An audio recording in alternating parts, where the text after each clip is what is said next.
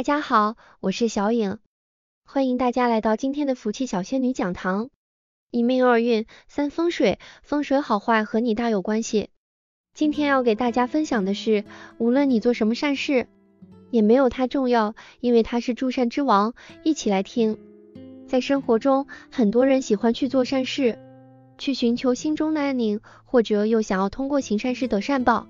其实，如果你这样想，发这样的心。比做一百件善事还有用，不仅可以获得功德，生活还能够顺利。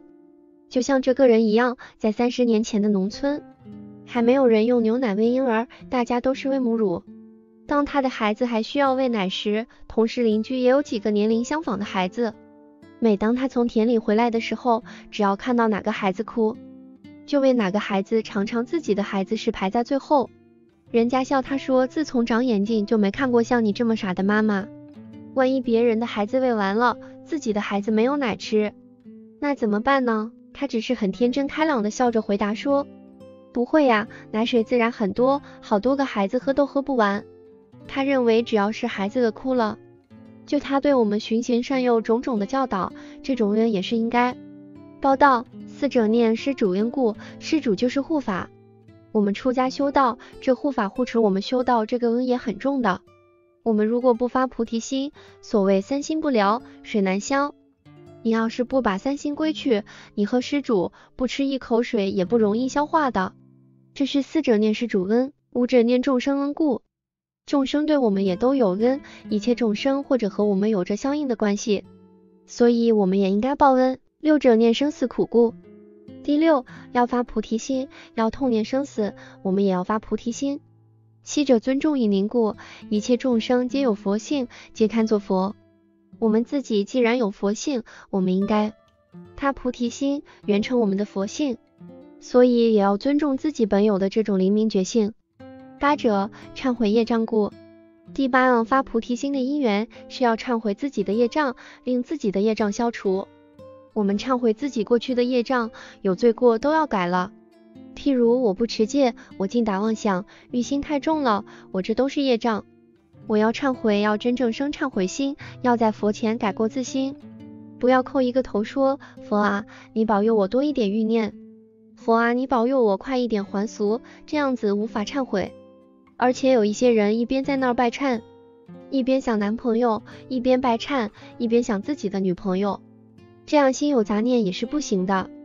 这第八种，你要忏悔业障，就要发菩提心。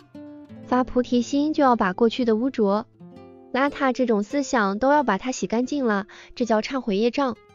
九者求生净土故，要求生西方极乐世界，见阿弥陀佛。十九为念正法得九咒故。我们发菩提心修道，我们能真正修道，这就是正法九住。我们若不发菩提心修道，这就是正法不住世了。所以我们要有这十种的因缘，因此如果想要心中烦恼少一些，做事情不冲动，想要改变自己，就要从内心开始改变。先学习如何发菩提心，而并不是学佛才会发，是做人就要如此。因为在这人世间，我们会拥有着无数的烦恼，会变得暴躁，会做出无法挽回的事情，而那个时候就会后悔。所以发菩提心是能够让我们冷静。磨练我们的心性，变得更好，也更有意义。感谢你的观看，愿你福生无量。今天的分享就到这里了，希望你能给小影点个赞或者留言，给出你的建议。别忘了把福气小仙女分享给你的朋友，让我们一起成为更好的自己。还没有订阅小说的朋友，一定要记得订阅哦。我们下期不见不散。可怜就应该去喂它。不论是谁的孩子都一样，这种清净、平等、慈悲的心和佛佛是相应的。他虽然先喂别人的孩子，但是他的孩子也没有营养不良。相反的，每个孩子都又高又壮，一表人才，又很乖、很忠厚、老实又很勤奋。从会走路开始就会帮忙种田，个个都很优秀又很孝顺。现在他有了孙子，他以坚定的信心笑着说：“孙子一定会和孩子一样乖。”果然，孙子出生以后，在婴儿室里面，所有的孩子都哭，只有一个很安静的，就是他的孙子。他拜佛的时候，把孙子连摇篮也带去拜，甚至背着孙子拜。孙子很安静，一听到阿弥陀佛就笑。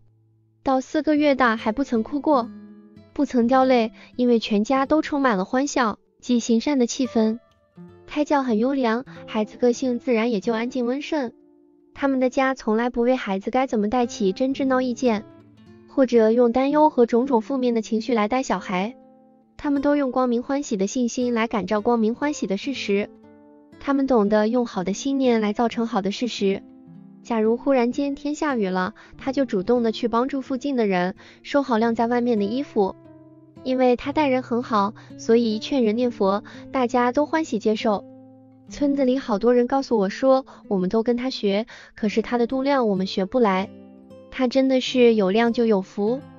一个七十多岁的阿婆说，自从她嫁到这里来，我看了她这么多年没看她生气，天天都是笑眯眯。她都叫我们要欢喜，不要生气，我也尽量跟她学。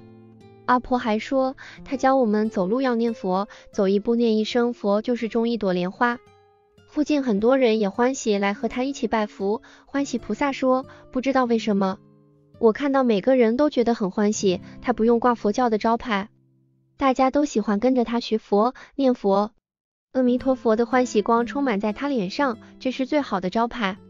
从孩子很小的时候，他就不断的教孩子。手要做好事，脚要走好路，嘴要说好话，念佛心要向阿弥陀佛。连附近的孩子都背下了这个做人的总原则。有一位小女孩接受和她的教导，回去问自己的妈妈：“妈妈，嘴要做什么呢？”她妈妈回答说：“嘴巴就是要吃饭啊。”小女孩说：“妈妈，您说错了。”阿婆说：“嘴要说好话，要念佛。”这妈妈听了也恍然反省自己，可能有些人活了一大把年纪，都不曾好好运用过嘴巴来说好话来念佛。村里有小朋友写作文，题目是我最要好的朋友。他写他最要好的朋友就是欢喜菩萨。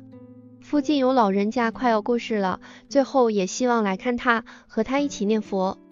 欢喜菩萨所到的地方都散播着欢喜的光，进到他家里自然会受感染，因为他是快乐的。